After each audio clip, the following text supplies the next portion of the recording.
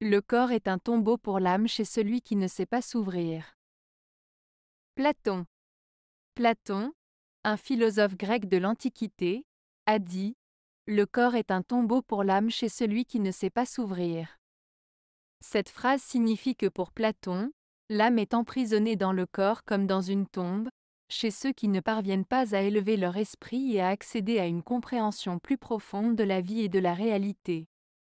En d'autres termes, il suggère que ceux qui ne cultivent pas leur esprit et leur conscience restent enfermés dans les limites matérielles de leur existence, sans accéder à la pleine liberté et à la connaissance de soi.